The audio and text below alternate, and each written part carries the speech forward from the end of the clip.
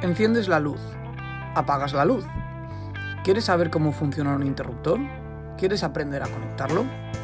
En este vídeo te explico cómo se conecta un interruptor, tanto en papel como en la práctica. De esta manera aprenderás de manera fácil y sencilla cómo conectar un interruptor. Así que vamos a ello.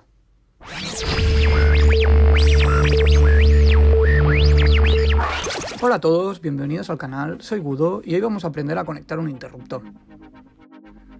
Empezaremos primero a explicarlo desde el papel, para aprender la teoría, ya que es importante saberla. Luego haremos una conexión real porque no es lo mismo que en el papel, ya que cuando estás en una caja de empalmes y ves tanto cable es bastante lioso. Bien, aquí empezaremos con la teoría. Lo haré en modo dibujo y a mano alzada. Aquí, en este punto, es donde están los 230 voltios, la fase y el neutro.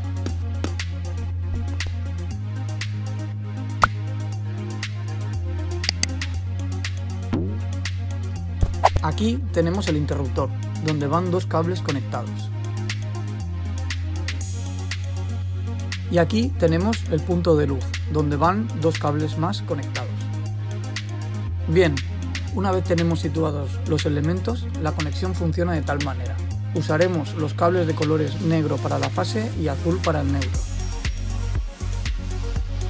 Como norma general, el neutro siempre va a la luz, así que cogeremos el cable azul de la bombilla y lo llevaremos al cable azul de la línea 230. Después cogeremos el cable negro del interruptor y lo llevaremos al cable negro de la línea 230 voltios. Tanto en el interruptor como en la lámpara nos falta conectar un cable, así que lo único que nos falta es unir el interruptor con la lámpara. Así, de esta manera, como vemos en el dibujo, cuando acciono el interruptor, dejo pasar la corriente de la fase a la lámpara, y como la lámpara tiene el neutro, se enciende. Y cuando vuelvo a accionar el interruptor, corto la fase y la lámpara se apaga. Bien, en una caja de empalmes se nos complica quizás un poco. Tenemos que localizar todos los cables del interruptor, de la luz y de la línea 230 voltios.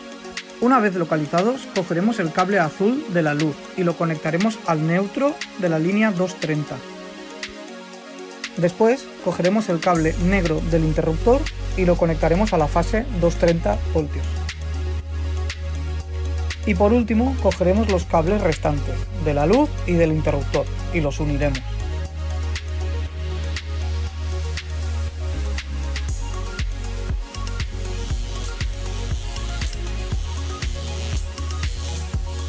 De esta manera, la luz siempre tiene el neutro, y cuando accionamos el interruptor dejamos pasar la fase a la luz.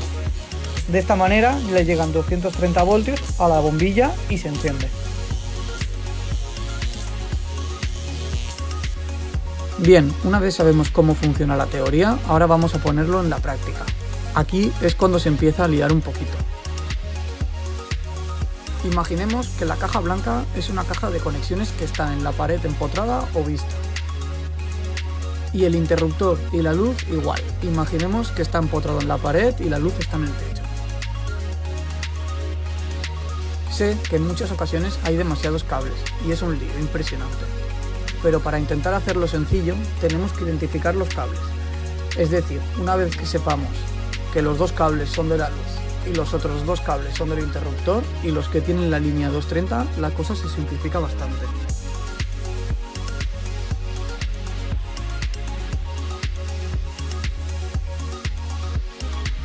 Recordar que por seguridad, cuando trabajemos con corriente, siempre tenemos que tenerla desconectada.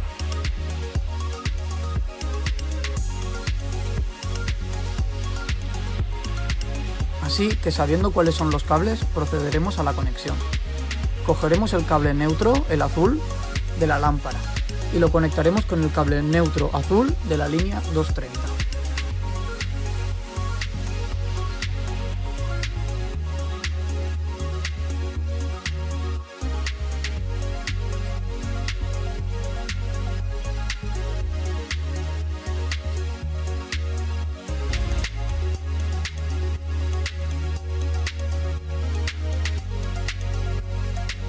Después cogeremos el cable negro del interruptor y lo conectaremos en la fase de la línea, el cable negro.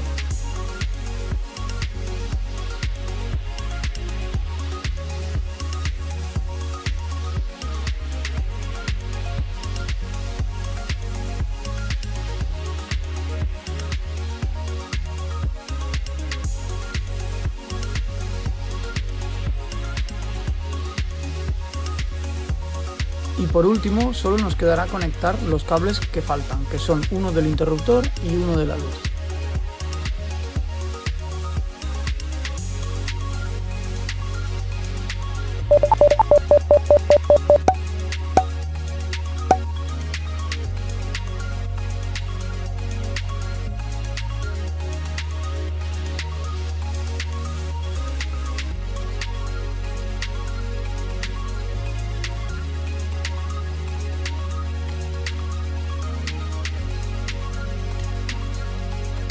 Y voilà, ya tenemos un interruptor que funciona.